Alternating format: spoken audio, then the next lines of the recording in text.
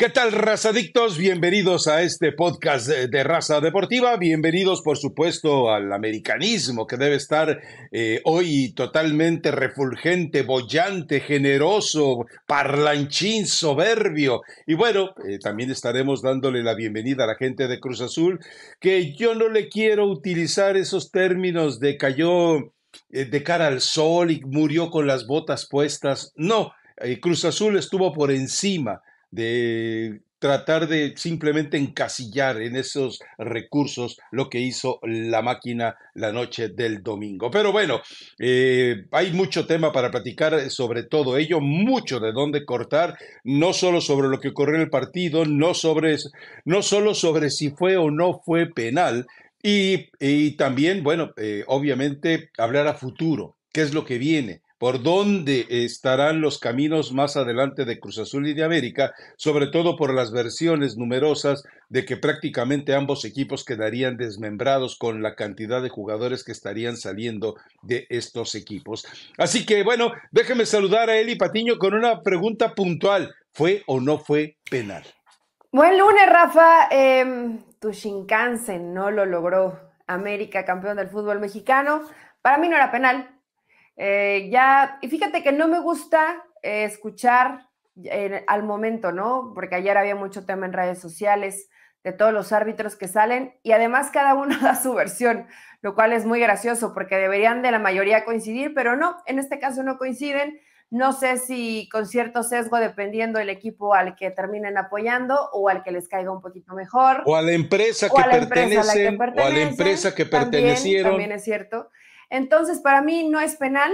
Eh, es evidente cómo salta Reyes después de que se termina barriendo Rotondi, pero esa es mi percepción. Y todavía se maximiza la acción, más allá de que podamos pensar que es penal o no. Cuando Cruz Azul fue mejor todo el maldito partido y aún así no fue capaz de capitalizar una sola jugada. Todo el bendito no, para ellos es maldito, Rafa. Para las águilas es bendito. para Malagón. Pero para los que somos ajenos fue una bendición. Pero para Cruz Azul, pues es maldito. Y fíjate que estaba viendo el partido con gente que le va al Cruz Azul, pero que ha decidido apoyar a otros equipos, en este caso a Pachuca, porque dicen es que siempre nos pasa lo mismo. Vas a ver, lo vamos a intentar, vamos a llegar, vamos a tener varias oportunidades y nos va a terminar ganando el América. Y tal cual, obviamente son puntos muy genéricos, ¿no? Pero tal cual fue lo que pasó. Cruz Azul fue mejor, jugó mejor, tuvo las mejores opciones, pero no fue capaz de meterla ante una gran actuación de Malagón, ¿no? Creo que sin Malagón, este América no hubiera sido campeón, pero el portero es tan importante como cualquiera de los que están en la cancha. Así que. Para eso le pagan. Así que no podemos hablar de, ni siquiera de suerte o, de fortuna. Simplemente Cruz Azul no tuvo la capacidad de poder hacer un gol de todas las opciones que generó ante una gran actuación del portero. Eso es parte de lo que tenían que estar preparados y Cruz Azul, bueno, pues no fue capaz de abrir ese marcador que le hubiera dado por lo menos el alargue después de pensar que se hubiera pitado este penal. A ver, Eli, a ver, eh, yo tengo sospechas y, muy, eh, muy fundadas de, de, lo que pasó entre el árbitro, el VAR y el escenario de resolver si había sido o no penalti.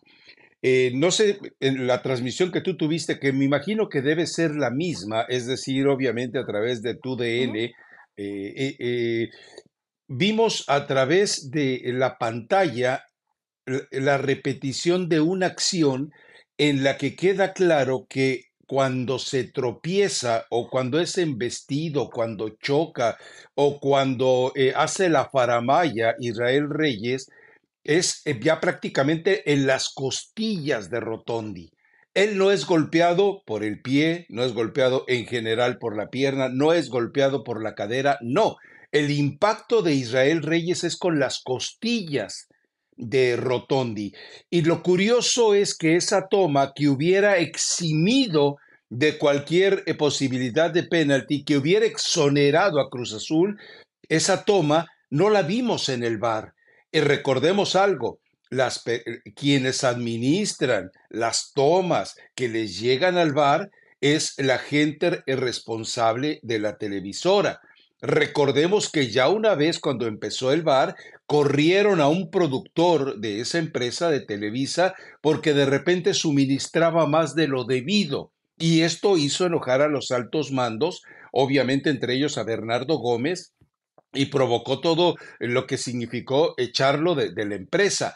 Ahora, para mí sí es eh, mm, eh, curioso, dejemos de ahí, el hecho de que esa toma en la cual eh, solamente una vez la vi yo a través de tu DN, en la cual Israel Reyes se impacta con las costillas, o sea, ya, ya no había posibilidad de que se sancionara el penalti porque ya recorrió medio cuerpo, porque ya pasaron milésimas de segundo, y entonces eh, queda claro que el, el VAR tenía que haber eh, tenido disponible esa toma, ese, esa, ese, esa, esa eh, escena tenía que haberla tenido disponible tanto el VAR como el gato Ortiz, y seguramente si la hubiera tenido, no hubiera marcado el penalti, pero entendemos que la forma en la que manipulas la toma, la forma en la que manipulas lo que le entregas al VAR, la forma en la que de repente eh, eh, seleccionas lo que no puede generar dudas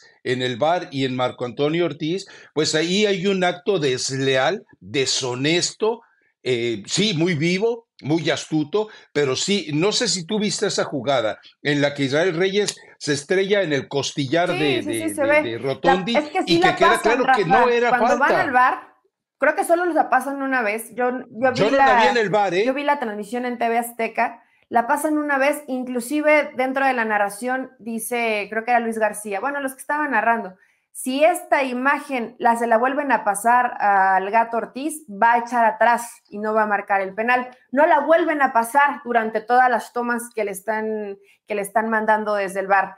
Eh, y bueno, decide al final que sí es penal. Yo creo que si veías esa imagen, ¿qué te parece? Dos o tres veces, así como lo hacen en slow, claro. hubieras dado cuenta que no era penal. No era penal porque cuando sale volando, y bueno, dices, puede ser parte de la viveza una cosa es la viveza y otra cosa es el engaño. Rotondi se, se barra limpiamente porque nunca toca a Israel Reyes con el pie, ni, ni va con una intención de perjudicar al rival, va con una intención de que ese balón no avance más. Entonces, pues sí, lamentablemente, digo lamentablemente porque cuando eres un equipo que presumes y que hablaban de época y de grandeza y tal, pues este tipo de cosas injustas, porque fue injusto, no era un penal, te da un título, Rafa. O sea, ahí tendrían que haber sido... Vale, eh, eh, el término lamentablemente, Eli. Eh, a ver, vale el término lamentablemente porque como gente involucrada con el fútbol, lo que llama de eso de María la familia del fútbol, en la cual incluye a los medios, entendamos algo. Esto desacredita al fútbol mexicano. Al fútbol mexicano, al América, al Marca un, escenario de deshonestidad al fútbol mexicano. Y, estamos en un escenario en el cual eh, si al fútbol mexicano eh, de repente ya la credibilidad, la honestidad eh, ha quedado tan marchita o han quedado tan marchitas desde tiempos inmemoriales con situaciones como estas y otras peores, como los golpes de Estado en la federación, las manipulaciones de los derechos de transmisión, bla, bla, bla, bla, bla. Entonces sí, eh, eh, te, acepto que en este caso digas que lamentablemente, porque es un daño global. Em, empaña todo, Rafa. O sea, cuando quieres, cuando quieres creer, claro. cuando hubiera sido maravilloso que, a ver, supongamos que este penal de todas maneras lo marcan, pero América te generó 25 oportunidades de gol, le pasó por arriba de Cruz Azul, dices, eh, bueno, no era un penal, también, o sea, el, el error está ahí, no lo hubieras quitado, pero dices, el adversario hizo todo para ser campeón del fútbol mexicano. Yo creo que es lo que termina jodiendo más la expectativa que se generaba un partido y se repite la final y a lo mejor te imaginas que de último segundo va el portero y digo, del fútbol, pero que pueden pasar en el desarrollo de un partido. Pero cuando fue tan superior Cruz Azul y le regalas un, un penal al América, pues simplemente fortalece la teoría de muchos de decir que el arbitraje favorece al América y que este título se ve empañado por una ayuda arbitral o por un error arbitral, si no queremos utilizar la palabra ayuda. Porque se, mm. se, equivocó, se equivocó el Ortiz. O sea, si tienes la, herramienta y tantas cosas que le han buscado para darle giro al bar, ¿por qué no te mandan la toma que realmente te puede despejar cualquier duda? Rafa, no hay que ser experto en arbitraje. Tú y yo no somos expertos, hemos visto mucho fútbol, pero si veías esa toma, era evidente que no tocaban los pies de Rotondi. Y hay algo más grave, Eli. O, que no iba con esa intención también, porque cuando hablan de la intención, o sea, toman un montón de factores en cuenta. El que termina saltando es Reyes, y era evidente en la toma, ¿eh? Y, se barre, Rotondi se barre a ras de, pasto. Y aparte hay algo eh, que también en el momento en el que tú determinas que no es penalti y que, insisto, en esa toma en la que se estrella con las costillas, en el momento en que determinas que no es penalti, era tarjeta amarilla para Reyes. Y, y, en el escenario en el que estaba jugándose ese partido, es decir, era totalmente retocar el escenario. ¿Por qué? Porque evidentemente Cruz Azul estaba aprendiendo lecciones, porque Cruz Azul proponía, porque Cruz Azul era el mejor en la cancha. Es decir, eh, aquí hay una doble burla eh, al, ojo con esto, es una doble burla al arbitraje y es una doble burla del arbitraje. ¿Por qué? Porque no era penal y porque además había que haber eh, sancionado a Israel Reyes por simulación. Y la simulación, recordemos, es algo que está preocupando mucho a la FIFA. De hecho, eh, recordemos que hay una nueva eh, perspectiva y que ahora la simulación está generando castigos. La simulación ahora está provocando sanciones severas. Entonces, entendamos todo eso. Pero bueno, eh, creo que coincidimos en eso. Es decir, el arbitraje se vio mal, el arbitraje define al campeón el arbitraje determina el partido en esa sola jugada, porque por lo demás, creo yo, lo del gato Ortiz había sido estupendo. Ahora, sí, insisto en algo, y esto tiene la obligación los agachones, acobardados, pusilánimes, dueños de clubes, tratar de exigir que el arbitraje que el VAR goce de, goce de la capacidad de elegir las tomas, no de que le envíen las que se les pega la gana, porque vimos la misma toma 100 veces, pero la, la, la, la que era determinante solamente una vez. Yo no la vi con el VAR, ¿eh? pero sí la vi en la, en la transmisión. Dice, no, no puedes marcar penalti. Pero bueno, eh, y, y, lo malo es que quisiera uno de verdad decir, es que América es un digno campeón. Sí, a ver, sí es digno campeón si lo quieres ver porque fue el líder durante todo el torneo, porque fue el equipo que a veces mejor jugaba al fútbol después de Pachuca y Cruz Azul, eh, por muchos escenarios, porque había sido el, campeón, lo que tú quieras, pero en la cancha, en 90 minutos, nunca fue superior. Cruz Azul le puso un baile y ojo, a algunos americanistas les, les duele esto desde que se los dije con Almada. Anselmi le dio otra masterclass a Jardine. Otra vez se tragó crudo a Jardine. Y todavía yo leo en Twitter que Paulina Grajeda entre ellas dice, ojalá que algún día Jardine llegue a Pachuca. Perdóname, eh, mi, estimadísima, pero lo que yo vi es que Anselmi se tragó crudo a Jardine bueno, en todos los partidos. Pero después de Almada, obviamente. Ah, claro, si tuviera que elegir entre Anselmi y Jardine, yo igual me iba con, con Anselmi. Eh, a ver, fue mejor en estos 90 minutos Anselmi. Fue mejor por momentos Chivas también contra América. Fue mejor Pachuca. Es que esto es lo que digo, yo sé, campeón es campeón y nadie tal vez en unos años se va a acordar cómo fue campeón. Me refiero al proceso, ¿no? Porque creo que este penal sí va a quedar ahí señalado y, marcado. Pero la realidad es que el América nunca estuvo en su plenitud en la liguilla, Rafa. Pero el partido de ayer en el Azteca... no lo dejaron. No lo dejaron, pero varios jugadores estaban por debajo de su nivel.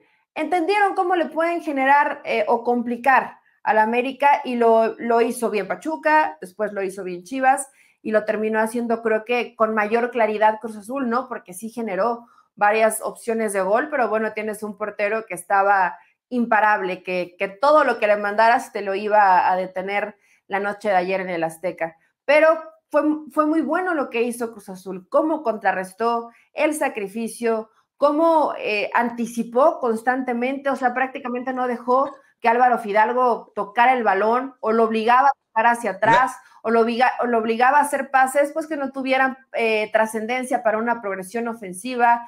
Eh, creo que fue un partido muy inteligente de Cruz Azul, Rafa. Realmente tuvieron oportunidades interesantes, intentaban por fuera, intentaban por dentro y no se dio. O sea, eso debe generar mucha frustración.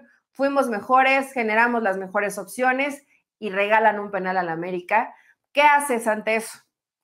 Quedas, quedas no, no, hay, forma de decir, bueno, pero eh, por eso te digo, si América hubiera pasado por encima de Cruz Azul y le hubiera generado 15 opciones de gol y a lo mejor no la metían, dices, bueno, el América fue superior, ahí qué hace, sí el penal, pero el penal fue porque nos estaban llegando constantemente. Ni siquiera, o sea, esto le pasó al América en todos, en todos los partidos conforme fue avanzando, ¿no? Le pasó con Pachuca, al final cuando ya se acababa el partido, no habías, tenido demasiadas opciones. Le pasó con Chivas, un Chivas que ya me parece que cuando intentó eh, revolucionar un poco el partido tampoco tuvo la gente para hacerlo.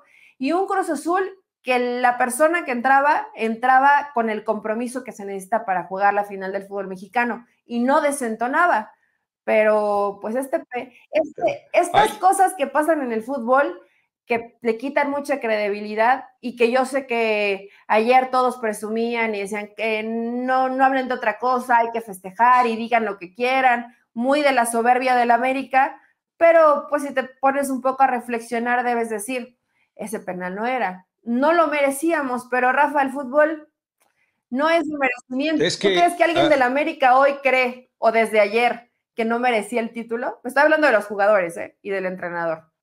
Por supuesto que no. Es, eh, a ver, es, que entendamos algo, Eli, y, esto me parece que no me lo puede objetar ningún americanista. Eh, el, el americanismo no puede celebrar un título así. Es decir, si te quieres llamar el más grande, no puedes celebrar un título así. Si te quieres llamar el más grande, no puedes permitir cargar un título con un asterisco. Si te quieres, si quieres que te llamen el más grande, no puedes de repente coronarte en medio del lodazal de un error arbitral. Si quieres que se te considere el más grande, no puede ser que vivas en medio de la sospecha. Punto. Ahora, eh, por otro lado, también entendamos eh, algo en este escenario, lo de Anselmi. Por ejemplo, eh, si en el partido de ida, con funciones distintas, Jardine nunca entendió lo que Anselmi le asignó a Salcedo, bueno, hoy le volvió a hacer lo mismo, pero otra vez, ahora con una es que yo no sé, de repente ustedes, los entrenadores, se sienten con una capacidad literaria para improvisar eh, títulos o nombres, pero yo lo llamaría la dinámica inteligente que mostró con Salcedo, Charlie Farabelli, se tragó vivo a, Jardine. Por eso, es decir, eh, eh, aquí hay dos cosas. Una es la capacidad de entender y, y, hacer saber cómo puede ser mejor. Y la otra muy puntual es tener en claro pero tener muy en claro cómo lo vas a ejecutar. Y lo hicieron bien, Rafa. Ahora, dentro de mm, lo que tienes que contrarrestar, porque ahora esta función le tocó a Charlie, eh, le vi menos posibilidades a Farabel y por momentos lo vi aislado, pero bueno, hay que correr riesgos y hay que hacer este tipo de sacrificios. Lo cierto es que Cruz Azul, y además cuando ves la nómina de Cruz Azul dices, en verdad Anselmi sí le tiene que pensar, le tiene que dar la vuelta, tiene que ver de qué forma voy a contrarrestar. América es un equipo poderoso, con quién le puedo hacer daño, dónde le puedo generar superioridad numérica para nosotros tener la pelota, porque la realidad es que el, el Cruz Azul tuvo la pelota y no es que solamente eh, eh, ellos tuvieron esta propuesta, sino que cuando el América tenía el balón lo perdía muy rápido por esta intensidad de recuperar la pelota tras pérdida. Cruz Azul hizo Probablemente, Rafa, el mejor partido de la temporada, como tenía que ser, en la final del fútbol mexicano, y ni así te termina alcanzando. Y los del América, con esto que acabas de decir, te van a restregar y te van a señalar diciendo que títulos son títulos, campeonatos son campeonatos, y le duela al que le duela, América es hoy bicampeón del fútbol mexicano. Y es una realidad, yo te puedo asegurar que en la mente de, nadie, que en, en, ninguna mente de nadie que apoya a la América, aparece la frase, no lo merecíamos. nadie. No, y a ver, eh, me podrán objetar todo lo que tú quieras, pero también, eh, esto lo digo muy puntualmente, ¿eh? Todos los títulos conseguidos en la época de Díez Barroso, todos los títulos de esa era son títulos cuestionables. Es decir, porque no falta el, porque eso es histórico, ¿no? Que los tontitos salgan y digan, pruebas, muéstrame grabaciones, muéstrame filtraciones de que eh, alguien les ordenó a los árbitros. Eh, eh, no, sean tontitos, eso no existe, de verdad eso no existe. es imposible de repente, sí van a decir, es que se han filtrado grabaciones de Decio, de María, de Jesús Martínez, de Pavón y de Matosas. Sí, lo entiendo, es cierto, pero recordemos que eso es, hay una traición de una esposa de por medio, que es la que genera que se conozca todo esto. Pero en fin, eh, de, todas maneras, eh, lo de Cruz Azul yo creo que tiene que eh, ponerse en un escenario totalmente aparte, insisto en lo mismo, es, es, un equipo que detrás de ellos tiene a, tipos tiene tipos muy demasiado torvos, demasiado sucios, demasiado oscuros, pero me quedo con todo lo pulcro que se hizo en la cancha lo de Antuna fue sensacional, lo de Charlie Rodríguez fue sensacional, lo de Salcedo magnífico, lo de Huescas de otro nivel, y esto por irme con, con, mexicanos, porque los extranjeros eh, rindieron. Entonces yo solo espero, y ya podemos ir si quieres, Eli Patiño, más luego de que coincidimos en, en la injusticia que se perpetró en el, en el, Estadio Azteca, podemos ir a lo que viene ahora. Espero que Cruz Azul entienda que lejos de vender, por ejemplo, a Huescas, lejos eh, de repente por empezar a negociar a jugadores, debe de fortalecerse, va a tener al toro de regreso, debe de buscar un par de elementos de, de buen nivel o de mediano nivel para poder hacer los cambios. Ahora, esto es si quiere crecer, si quiere desarrollarse, si quiere respaldar un proyecto, si quiere conformarse con esto y empezar a vender jugadores, pues está en su derecho. Sí, porque a mí no me extrañaría que lo, ya lo hizo con Marcone, no me extrañaría que de repente apareciera eh, eh, Bragar, eh, Bragarnik y dijera, pues sabes qué, te voy a dejar a, a Lolo Farabelli, pero tienes que comprarme un tronco que te voy a traer, ¿eh? Es muy malito, pero es, es, la compensación como me la tenías que haber dado con Marcone, porque así se manejan los promotores. Pero yo espero que haya esa, eh, haya esa inteligencia en Cruz Azul para poder entenderlo. Eh, no sé qué otro, qué otro detalle se te ocurra a ti que deba ser Cruz Azul para que esto no quede como una golondrina sin verano. A propósito, te lo dije, iba a aparecer Billy Álvarez Cuevas a desestabilizar. se los dije hace 15 días. Y apareció. Cuando lo vi, le mandé mensaje a Rafa y le dije, brujo, porque dije, ya sería demasiado, o sea, ¿por qué aprovechar el momento, e, el, oportunismo? Bueno, eh, conoces a tu gente, dirían los que de pronto eh, llegan a predecir un poco lo que va a pasar en el futuro. ¿Qué puede pasar en Cruz Azul? Mira, Rafa, probablemente el tema del arquero. ¿Qué debe pasar? El tema del arquero, creo que, creo que Mier tiene alternativas, podría salir. Ahí sí tienes que, buscar una carta fuerte porque debes de tener un buen portero. En la defensa, yo no lo retocaría demasiado. Creo que tal vez simplemente tener. Nada. Eh, alguna otra alternativa. Siempre es bueno que en ciertas posiciones tengas una opción más Retener a por el tema de lesiones. Lo de, lo de los mexicanos, creo que ahí no le debes de mover absolutamente nada. Eh, todos cumplieron a un extraordinario nivel. Y los extranjeros también. ¿Qué necesitas? Obviamente regresa el Toro Fernández, necesitas más opciones en ataque, necesitas yo creo que volantes que te den diferentes alternativas, no solo eh, que te den profundidad por fuera, sino también que puedan hacer algo por dentro. eso puede buscar Cruz Azul. Entonces, un par de volantes o gente creativa que, te ayude o que te fortalezca la ofensiva y, nada más. Y Cruz Azul seguía, seguiría siendo contendiente a, a, repetir o a estar en una final y ser candidato al título, pero entre menos le muevan al plantel y sigan dejando trabajar a Anselmi de la forma que lo ha hecho, sería lo que necesita Cruz Azul. Porque ¿qué pasó del Cruz Azul que fue campeón, el más reciente con Reynoso?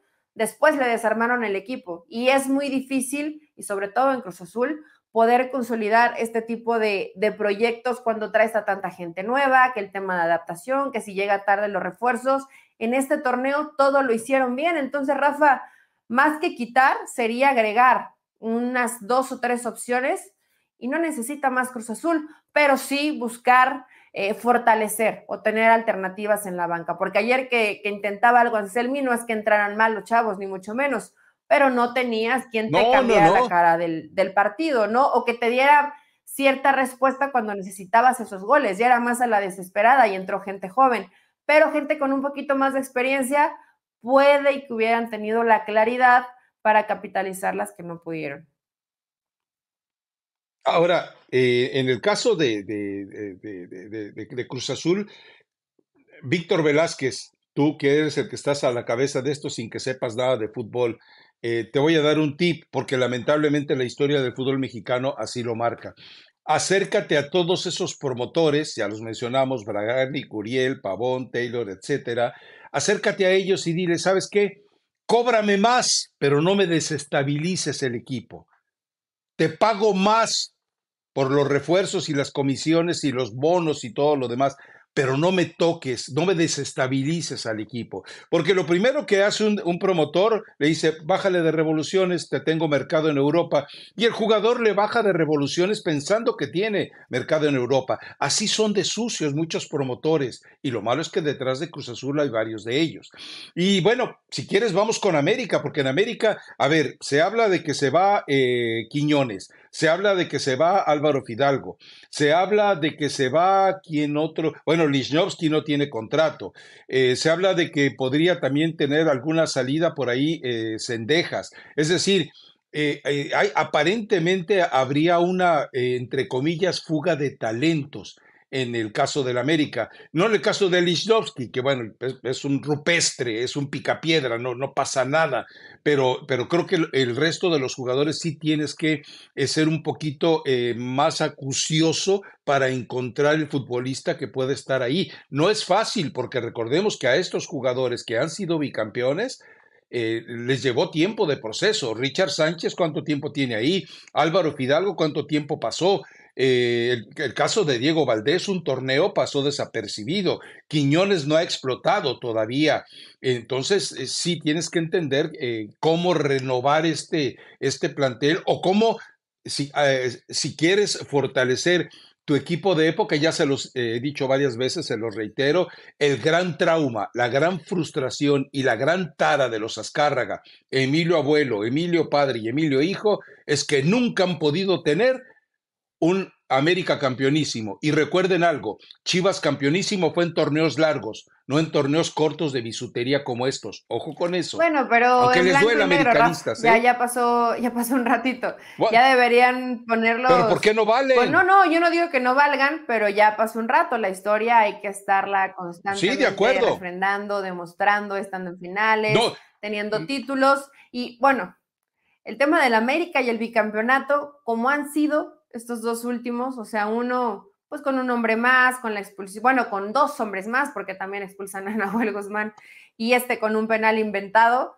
Eh, bueno, la, historia está ahí, ni América ni, ni cómo ayudarle para decir que, que, el arbitraje no termina favoreciéndolo, tal vez sin querer, pero termina favoreciéndolo. Pues la más difícil de reemplazar de todas sería la de Fidalgo. Y mira que no tuvo la, la liguilla más brillante, pero no tuvo la liguilla más brillante no por una baja de juego de Álvaro Fidalgo, fue por lo que hizo el rival, no lo dejaban. Y los compañeros no ayudaban demasiado, ¿no? Porque no fue no es el mejor momento de Quiñones, no es el mejor momento de Diego Valdés, y aún así eh, fueron, fueron puntuales. Y Jonathan es limitadito. Jonathan necesita, necesita un escudero. necesita a alguien que, le ayude, necesita un apoyo ahí, no puedes dejarlo absolutamente solo. Además, por la forma en la que juega el América, necesitas eh, a alguien que Richard Sánchez quiere salir. No está fácil, Rafa. En el mercado mexicano, ¿a quién ves que pueda suplir a Álvaro Fidalgo? No. No hay. Por eso, por eso te decía, eh, Richard Sánchez quiere salir y por eso te decía, América lo que tenía que haber hecho, pero desde ya, era haber contratado al, al indiecito Solari y decirle, ¿sabes qué, mi estimado indiecito? Ahora dedícate a buscar Álvaros Fidalgos como nos encontraste esto, porque recuerden, a Álvaro Fidalgo lo fueron a sacar de la banca de un equipo, el, el, Castellón era, creo que sí, de la segunda división de España, ni siquiera era titular. Bueno, Solari algo le vio que lo rescató. ¿Cuántos jugadores habrá sí en la fábrica? Así se le llama el, eh, el semillero del Real Madrid. Eh, ¿Cuántos habrá en la fábrica? Eh, que, son desechados por el Real Madrid con las bestias, con los monstruos que tiene, y que bien podrían, en lugar de andar deambulando miserias en el fútbol de España, eh, eh, arribar al fútbol de México, ¿no? Pero bueno, sí es un desafío eh, muy importante. Y ojo, Jardine, espero que aprendas, ¿eh? Porque te, te, te, dieron masterclass, como les duele a los americanistas que les diga esto, les dieron, te, te dio masterclass Jardine Almada y te dio masterclass Anselmi, y los dos con planteles muy inferiores en supuesta calidad a lo que tú tenías. Así que bueno, ponte a chambear, llévate a Leal, que era tu escudero en el San Luis, ponte a hacer algo, trabájale. ¿Qué necesita América, además de si se van estos? si se va Lichnowsky, pues necesitas tal vez algún otro central. Creo que lo de Juárez fue bueno, eh, fue su torneo de, de, de, consolidación, yo creo, en, el primer equipo y, y, lo hizo muy bien. Eh, Cáceres hay que ver si se recupera y si, y si se queda, ya ayer apareció en la banca, entonces seguramente va a ser otra de las alternativas. La muy buena noticia, lo de Reyes, Rafa. Muy buena noticia, me refiero no, no para el América, sino para la selección mexicana, que tengas una alternativa más en la lateral derecha, cuando ves que en silla de ruedas andaba Kevin Álvarez, cuando ves a Jorge Sánchez, dices, eh, esto es, es, oro puro, ¿no? Encontrar que Reyes te pueda rendir en, en, esa posición, pero necesitas fortalecer la lateral izquierda, inclusive la lateral derecha. Vaya, América tiene que hacer varios ajustes y después de las contrataciones, América se volvió un rival. Yo sé que los rivales los ves todos los días y esto suena extraño cuando dices que es predecible, pero América con todo el plantel que tenía siempre jugaba lo mismo. Entonces, ¿qué necesitas? Alternativas. Si mi rival ya me conoce y sabe que le voy a jugar así, ¿cómo contrarresto lo que va a hacer? América siempre fue el mismo, no, no importa contra quién se enfrentaba y no creo que eso esté mal, pero en muchas ocasiones te deja en desventaja porque el rival ya sabe cómo jugarte y cómo hacerte daño. Entonces, eh, no solamente necesita jugadores, si es que se van los que mencionaste, necesita Jardine tener otras, tener otras alternativas de juego para hacer un equipo mucho más competitivo. Porque también yo creo que ahí tiene que ver, tiene eh, un, claro ejemplo de lo que vimos del América. América no fue tan bueno como el torneo anterior, pero porque este torneo ya muchos sabían cómo, cómo hacerle daño. Puso el ejemplo Pachuca y a partir de ahí varios lo intentaron, algunos les alcanzó, a otros no, pero América nunca intentó algo distinto, Rafa. Tú veías al América desde que llegó, bueno, no porque le, le costó trabajo, pero al América todopoderoso de Jardine y siempre fue el mismo América. A veces con mejor o peor nivel en cuanto a calidad individual, pero siempre fue el mismo América. Entonces, después de la masterclass o cátedra que le dieron un par de entrenadores en la liga, necesita también el enriquecerse y tener otras alternativas de juego para, para el América. También mucho dependerá de las contrataciones. Yo escuché que andaban, bueno, ya van dos que están poniendo mucho dinero sobre la mesa, el América y Rayados buscando a, a Idrisi. No sé si de pronto alguno de los dos se lo, se lo pueda llevar. Bueno, Idrisi hoy, hoy, hoy es más que Quiñones y es más que eh, Brian, eh, Brian, Rodríguez, o sea, pero mucho más, ¿eh? Ahora, eh, es que esto te lo había explicado en el podcast pasado, es decir, América es un equipo con mucho talento y pocas variantes. Y Cruz Azul era un equipo con poco talento y muchas variantes. Por eso lo vimos que, que de, definitivamente mmm, hubo eh, momentos en los que Anselmi le, le, jugó el dedo en la boca a Jardine como se le pegó la gana. entonces, por más que les duela, los americanistas tienen que aceptarlo. Si hubo, un, eh, si hubo un dominio de un entrenador, fue Anselmi. Bueno, Anselmi eh, tenía más recursos que los que tenía Gago y tenía más recursos incluso, ojo con esto, que los que tenía Almada. La diferencia es que Almada tiene tan perfeccionado su estilo y su sistema de juego que no necesita variantes. Lo las únicas variantes a las que recurre son de orden defensivo, pero el resto es simplemente fortalecer, y lo hace muy bien, la forma de jugar al fútbol, con algún par de cambios de posición, como lo hace especialmente con el chiquito Sánchez. Pero bueno, eh, Vamos a ver qué se viene con el, próximo torneo. Esperemos, eh, y lo habíamos dicho, ¿te acuerdas en el cierre del podcast anterior? Solamente una petición, que los árbitros no tuvieran un peso específico en la determinación de quién era el campeón. Pero no nos hicieron caso, ni modo. ¿Qué se le va eh, a hacer? Seguramente llegará un buen premio para, eh, para el gato Ortiz, algún reconocimiento, no sé, eh, seguramente estará en la Copa del Mundo. Ese tipo de cosas se agradecen y no, no son historias, revisen puntualmente. Esos regalitos se agradecen, bueno, pues igual y son, son igual y son regalos que vale la pena, pero me refiero a un tema económico, pero vale la pena empañar así tu carrera y verte como un árbitro comprado, porque eso no lo podemos asegurar y muchos nos van a decir, Rafa, a ver, muestras, enseñen, pruebas, pruebas, pruebas a ver dónde se ve que la América dio dinero para. Pero a veces ni hace falta dar dinero. Muchas ocasiones hay que quedar bien con el patrón, ¿no? No tiene que haber regalos, regalos ni dinero de por medio. Cosas que, eh, y aún así, cosas que no debería de decir. aún con estos, aún si andas de queda bien con el patrón, eh, creo que tanto América como Cruz Azul, y si vas al, al presente, van a ser equipos que el próximo torneo, Rafa, van a ser protagonistas y van a estar en instancias finales y seguramente los veremos en, la liguilla, tal vez hasta directo, ¿no? Por cómo ves a los equipos. O sea, yo sé que todavía es muy pronto y que va a haber eh, modificaciones y que va a haber algunos Sí, se atraviesa la Copa de las Ligas. Siempre más o menos tienes una idea de fecha FIFA. ¿Qué? Sí, se, vienen muchas situaciones en el segundo semestre, Copa de las Ligas, eh, fechas FIFA, eh, bueno, ya lo sabes. Eh, a ver, dos, dos, situaciones puntuales. Una, estamos, hay un poco de broma en el tema del gato Ortiz, porque insisto, si él hubiera tenido la toma que, la, que los que administran las tomas de televisión del bar se la, se la pichicatearon, tal vez él habría tomado otra decisión. O sea, no podemos centrarnos en que el gato Ortiz es un corrupto.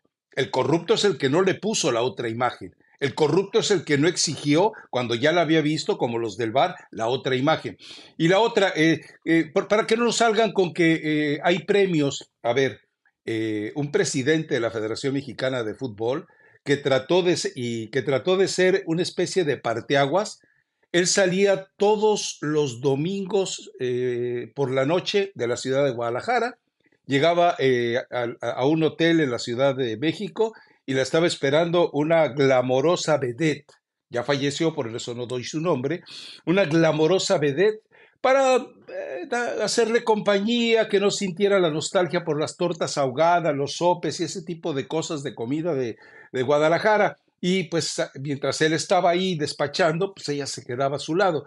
O sea, si hay, si hay maneras de compensar eh, definitivamente, o ya se les olvida de repente cómo aparecen eh, acompañantes de grupos arbitrales eh, cuando van a alguna competencia internacional, o ya se les ha olvidado lo de los juniors de Santa Fe.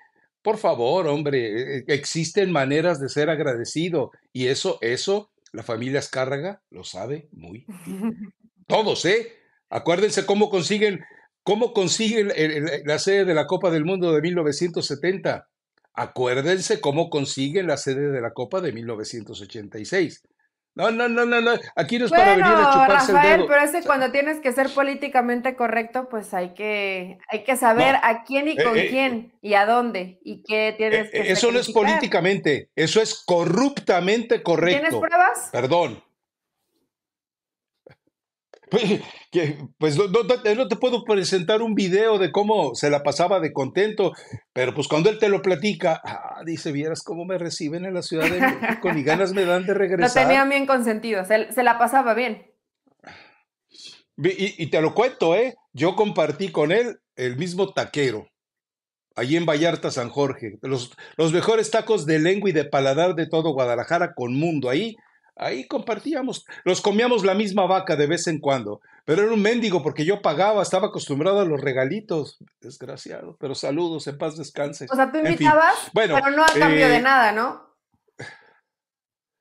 No, sí, pues de qué. No sé. Ya no te quiero contar más la historia porque voy a dar muchas pistas, pero yo quedé fuera de una empresa en Guadalajara porque lo puse en ridículo en una conferencia de prensa y se quejó y dijo, si este tipo se queda aquí, ustedes no tienen acreditación para el Mundial del 86. Pues afortunadamente, afortunadamente me tuve que ir a trabajar a la Ciudad de México, al Heraldo, que fue para mí una etapa bellísima. Pero bueno, en fin, eh, ¿algún otro tema? Este, mm, selección, nacional, ya se viene el partido Carlos Osorio regresa al fútbol mexicano, Rafael Ramos. Florerías, Pónganse vivas, porque, porque al señor Juan Carlos Osorio le gusta ser espléndido regalando rosas rojas. No, yo creo que ya no lo deja, ¿no? Aparte se lo llevaron bien lejos, o sea, no estás tan cerca de, Ciudad de México, donde le gustaba repartir ese tipo de... También es de esos que reparten detalles, es, es, detallista Juan Carlos Osorio, pero va a estar sabroso, Rafa, ver su regreso al fútbol mexicano. ¿No te, no te genera morbo? El del Chepo. El Chepo también ahora con, eh, la verdad que no me genera demasiada emoción ver al Chapo con Puebla.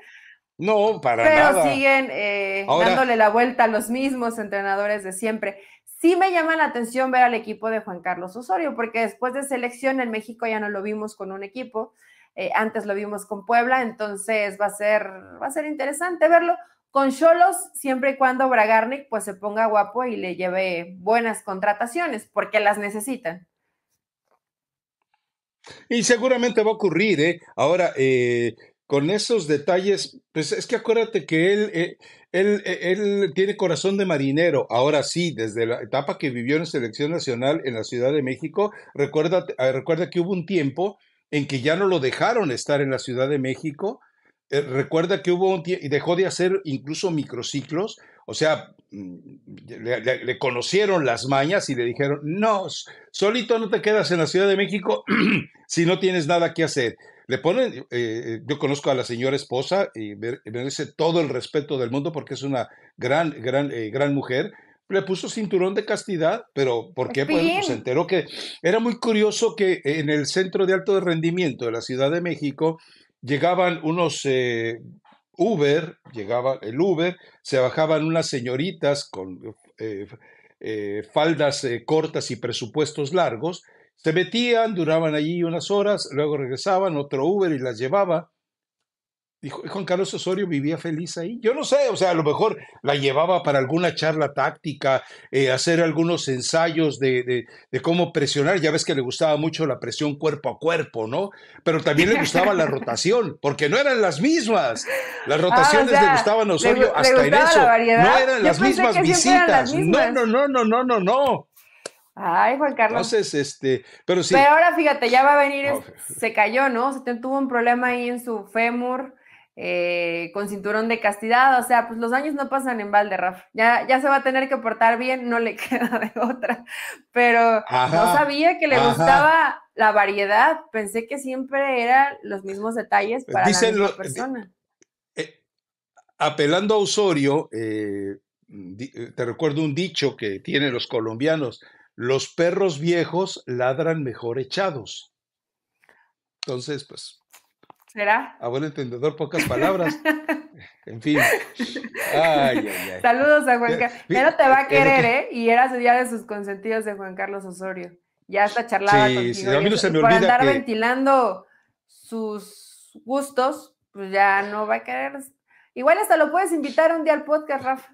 Que no nos hable de eso, ¿no? Que nos hable de fútbol.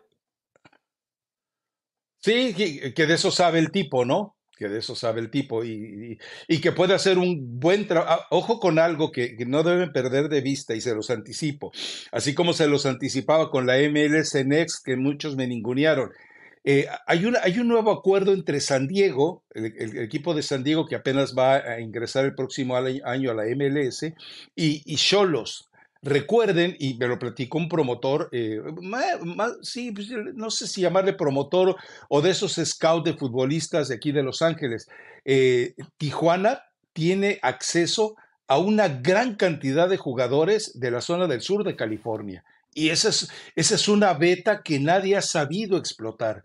Entonces, eh, a Juan Carlos Osorio le gusta eso, le gusta trabajar, le gusta formar. Eh, entonces, a lo que sí espero que no cometa el error, porque hablan de que va a llegar con Mateus, eh, ¿cómo se llama?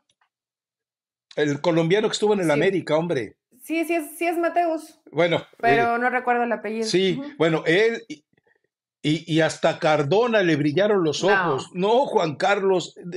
No, o sea, Edwin Cardona, sí, es, es un futbolista con facultades notables, pero, pero tiene tantas desviaciones emocionales y, y sentimentales. No, ya cartuchos quemados ya no, Rafa. Bueno, y lo de Matos Uribe no fue malo en México. ¿Te pareció que fue malo con el América? No, no, no, no, no, no, pero, pero, pero, estamos hablando de cinco años después o seis, Eli. Sí, sí, ya pasó un rato. No, y que no solamente sea por pasaporte, ¿no? O sea, si vas a traer jugadores, lo de, no, no, yo creo que lo de Cardona ya no, Rafa. Ya fue, ¿no? No, espero que no. Espero que no. Pero eh, eh, va, a ser. Depende del promotor que tenga. Y va a ser folclórico la presencia de, Osorio, ¿no? Todos los rollos que te va a soltar y ya sabes cómo le encanta hablar y se suelta y luego se equivoca. ¿Te acuerdas cuando iba a jugar contra Uruguay y que, no, bueno, va a jugar así, seguramente va a poner a fulanito y sutanito. Oiga, profe, esos dos no están en la convocatoria. ¿Cómo le va a hacer, profe? Y ya nomás se puso lívido, lívido, lívido. Sí, es decir, creer que sabes mucho es muy distinto de saber mucho. No, bueno.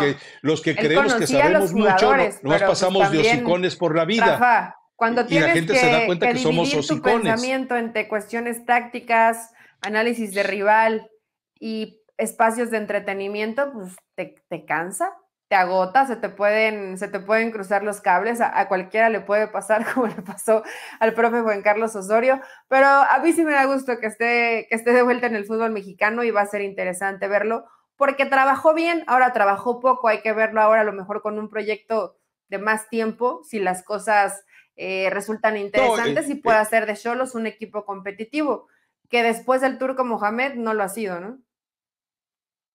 él, es, él es un tipo que trabaja bien, él es un, un, tipo que sabe y que en el día a día te puede formar las, las dichosas rotaciones en un equipo de fútbol en el día a día las magnificas. Recuerda que, y eso hay que reconocérselo, él agregó muchos detalles tecnológicos a la selección mexicana. Sobre todo, eh, que imagínate, pues Torrado, Cantú, pues, pues ¿qué iban a saber? Él, ah, eh, agregó muchos detalles de estudios, sobre todo Vamos, los estudios que él hacía podían determinar eh, si el jugador corría riesgo de lesionarse en un partido o no, en un entrenamiento o no. Eso es muy valioso. Claro, luego que hay mentiras como lo de la fibra A1 y la B2 y la no sé qué tanto y aparece base Daniel de preparación física, Rafa, entonces le mete de todo. pero luego aparece Daniel Ipata y, y, lo hace quedar en ridículo cuando Daniel Ipata dice este tipo está equivocado, es un mentiroso. Y a Ipata yo sí le creo, porque él junto con el profe Valenzuela deben ser dos de los eh, preparadores físicos más notables que han llegado al fútbol mexicano. ¿Cómo andamos de tiempo? Pues a la selección nos esperamos al, al, viernes a ver más o menos cómo se eh, fortalece el grupo de Jimmy, a ver quiénes llegan. Lo del, lo del Vasco Aguirre ya dijo que regresa porque le gusta el tequila, que regresa a México. Y hablamos del Vasco porque tenemos que darle información, no lo estamos promoviendo, sino quién se los platica a ustedes. Y, y, bueno, pues eso nada más, que, que ya está eh, puestísimo, ya regresó la bomba eh, a propósito, ¿lo viste en los festejos ayer? No. ¿Tú sí? No, ¿verdad? No, yo no, yo no me acuerdo haberlo visto. Pues, pero Rafa, él no es muy de. Él siempre trabaja como oculto, sin, sin demasiados reflectores. Sí, pero Acá el chiste es que trabaje, ¿no? Porque dice que trabaja y no han habido demasiados cambios. El, el sábado se juega la final de la CONCACAF acuérdate, juega Pachuca contra Columbus, que es de lo ya poquito que nos queda antes de, los partidos amistosos con México y después lo que se venga en la Copa América. Eh, Pachuca ya tuvo un partido amistoso contra, contra Morelia, creo que le metió 12 goles, digo, tenía que buscar algún partido para, eh, para llegar con un poquito más de ritmo, pero a ver qué tanto le perjudica esto. Eh, sigo al profe Rubens Valenzuela en, en Twitter eh, bueno, en X, que antes se llamaba Twitter, y todos los días sube una frase nueva. Ya hasta me estoy arrepintiendo. Ah, todo, el tiempo está tuiteando, pero está muy entusiasmado y hablando de precisamente cómo mantener ese ritmo cuando no tienes competencia. O sea, no es una cosa sencilla. No es que quiera salir el paraguas, sino que él como que va explicando ciertos tips cada día. ¿No lo sigues, Rafa? Síguelo. Está muy entretenido seguir al profe eh, Rubens. Eh, a ver, es que los tweets o las frases o razonamientos o ideas que te pueda plasmar el, profe Valenzuela es muy distinto de las charlatanerías. Creo que tú sigues a Imanol Ibarrondo, ¿no? Sí, tú sigues a Imanol Ibarrondo. Te gustan los farsantes. Qué bárbara, Elizabeth Patiño. Te voy a bloquear en, Twitter. no, pero ¿sabes qué? Hace mucho que no me sale. No sé si de pronto dejó de publicar eh, pero ya tiene un rato que no leo. Ya no encontró incautos. Que no leo a, Ibarrondo. Ahorita el que leo mucho es al profe, porque aparte sube a cada rato información. Pero bueno, el sábado juegan en el Hidalgo, el Pachuca contra mm, Columbus. Podemos hablar un poquito el viernes, ¿no? Y además que ya haya, que ya haya, que llegue Columbus a México, que llegue a Pachuca, etcétera, porque ahorita todavía está demasiado en el aire. Pero de ahí, Rafa, pues no hay, no hubo demasiadas novedades el fin de semana. No en México, ¿no? En otras partes del mundo sí.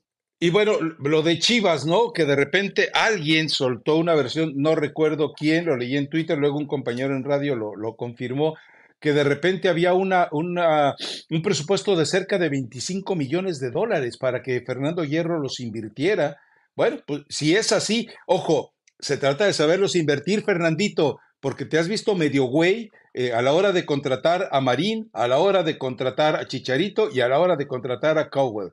O sea, eh, no eres una luminaria para escoger jugadores. Yo entiendo que el horizonte no es muy amplio. Ponte a trabajar. Puente ya debería de haber aparecido. Eh, ¿Cómo se llama? La hormiguita o la pulguita González, Armando González. Ya debería de haber estado en este equipo. Bueno, ponte a trabajar. Yo hubiera confiado más en González que en Chicharito para los partidos clave. Anselmi hasta en eso les está dando lecciones a muchos. Y, reitero, ¿eh? Nomás que eh, como que les da eh, escosor a algunos. Pero ustedes, este, exfutbolistas y extécnicos que son analistas, Anselmi estudió comunicación, ¿eh? Ahí nomás se las dejo. Y Jardine nunca jugó al fútbol, ahí nomás se las y llegó a la final. Y llegaron a la final uno dándole cátedra al otro, pero los dos estaban eh, en la final. Rafa, hablando del trabajo de cantera de Chivas, tienen a Puente acá en el sub-23. Eh, lo trajeron acá y, no es ah, titular, lo, ah. enviaron a Pachuca para que les hagan la chama. Entonces, pues que se ponga más vivo porque puedes tener mucho presupuesto. Pues ya se habla de que quieren sacar a Guzmán, pero traer a Gallardo, o sea, un intercambio ahí con, con Rayados. Rayados nunca es muy trucho para las negociaciones, entonces puede que pesquen el anzuelo. Ya le han jugado varias malas pasadas, como. Pero Gallardo ya. Gallardo ya fue. No, aparte, o sea, suponte que Gallardo no tuvo un mal torneo, en la, última parte estuvo lesionado, pero Chivas necesita un jugador como Gallardo. O sea, no que no deba deshacerse tal vez de Víctor Guzmán, porque no le sirvió demasiado, pero no creo que Gallardo sea alguien que hoy Guadalajara necesite necesita alguien que haga goles y ese no es Gallardo. Definitivamente, definitivamente. Eh, necesitas, yo insisto, ve por Raúl Jiménez. Total, el América ya se ha burlado de ti tantas veces. Ve por eh, Raúl Jiménez. Ah, ojo con algo, ¿eh? Chivas no ha cerrado el trato con Amazon porque primero tiene que cabildearlo con Emilio. No ha podido cabildearlo con Emilio. Y si no lo cabildea con Emilio, Chivas no va a firmar con Amazon, ¿eh? Ahí se las dejo, muñecos, para que luego eh, no terminen por enterarse por otros lados, ¿no? En fin, eh, nos vamos ya con la recomendación musical. Sí, mi recomendación es de Maluma, ya tenía mucho que Maluma Baby no estaba en mis recomendaciones, con Grupo Frontera y la canción se llama ¿Por qué será? Está muy buena la rola, tiene, tiene poquito que salió del horno para que vayan, la escuchen. Creo que hasta a ti te puede gustar, Rafa. Está, está bonita la canción. Estos de pronto duetos que hace Grupo Frontera se ponen, se ponen interesantes porque ya no son tan corrientes como el reggaetón que de pronto ya no se puede recomendar por las malas palabras. Entonces vayan a escuchar esta, está bastante buena. Y gracias a toda la gente que apoyó mi comentario de sobaco. ¿No les parecía corriente la palabra sobaco, Rafa? El único. Bueno, pues es que hay que ver también el, código postal de los que te lo, te, lo apoyaron, ¿no? Pero bueno, cada quien, pues igual, eh, yo, creo que es más propio públicamente llamarle axila, bisagra todavía, que me parece más, más cool y más slang, pero... Cállate. ¿Tú no tienes recomendación musical? sí, se ya, e, e, eso es para que se diviertan. Es, es una manera de, disfrazar el despecho eh, con humor. Y les va a gustar, yo sé que les va a gustar. Y no va dedicada a nadie, no nada más escúchela, disfrútenla y está sabor. No sé si ya lo escuchaste, tú se llama Cobijas Ajenas con Alejandro Fernández. No, no la he escuchado. ¿Está buena? ¿No has escuchado Cobijas Ajenas con Alejandro Fernández? He cobijas ajenas. Yo ahí la tenía guardadita para una, para una emergencia. ¿Te va a gustar? ¿Te va a gustar? Escúchala, por favor. Y tú también escucha la mía, que está bastante buena y nosotros nos escuchamos hasta el viernes.